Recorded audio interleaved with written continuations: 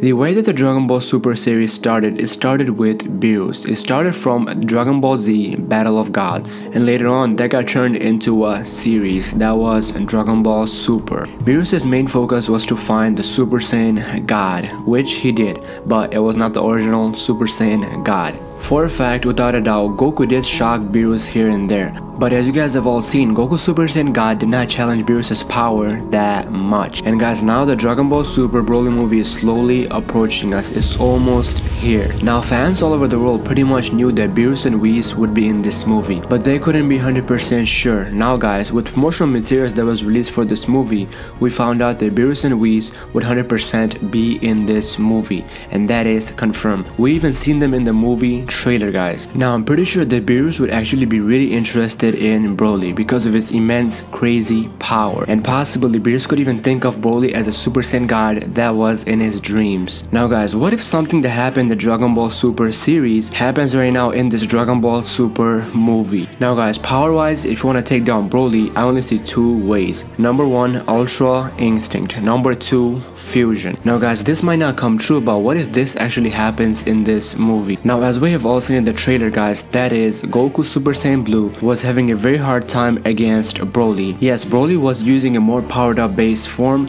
but the thing was guys, with that powered up base form, he was able to do so much damage to a post-Tournament of Power Goku Super Saiyan Blue. Now that is scary. And guys, at the end of the trailer, we seen Goku Super Saiyan Blue saying he's getting even stronger as Broly transforms. So let's just say after Broly transforms, he beats down Super Saiyan Blue Goku like nothing before. Just like in the Tournament of Power, but this time even worse. He gives Goku a near-death experience. And with that, once again, Goku is able to break out of his shell and then unlock the mastery of self movement known as Ultra instinct. Now guys, after observing the previous Broly movies which was non-canon, and Toriyama himself even said that he will change Broly but he will not change Broly too much at a point where the fans don't even like him. He will still keep the old Broly style. And guys, in my opinion, Broly is a victim. Broly has no choice but to fight guys. We even seen that in the previous non-canon movie.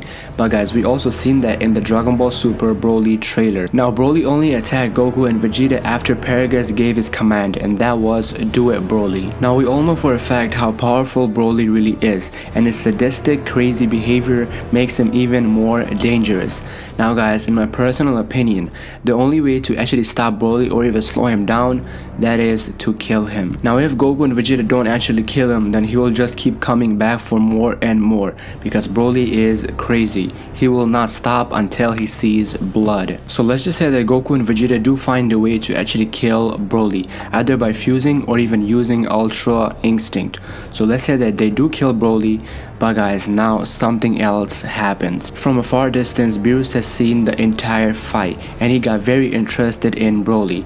And he also wanted to fight Broly as well to test his power. And mainly he thinks to himself that Broly could possibly be the Super Saiyan God. But now that Broly is dead, Beerus cannot fight him. But now there's only one way that Beerus can actually fight Broly. And that is something that happened in the Tournament of Power, which is when Whis resurrected Frieza with the order from none other than Beerus himself. Now guys, once again, Beerus orders Whis to actually revive Broly. Then Whis asks Beerus that, are you sure about this? Then Beerus says, do it. And after that, Whis has no other option but to revive Broly. And after Whis revived Broly, but this time guys, Broly came back much much stronger. And Frieza is also there. Frieza is watching everything. And with a very shocked face and very scared, Frieza says, what have you done? And anyways guys, that is about that's all I have for you guys today. So do let me know what you guys think about this. And if you guys have enjoyed this video be sure to give it a huge thumbs up and if you guys want to see more videos like this guys then be sure to subscribe anyways guys once again thank you all so much for watching and have a blessed day everyone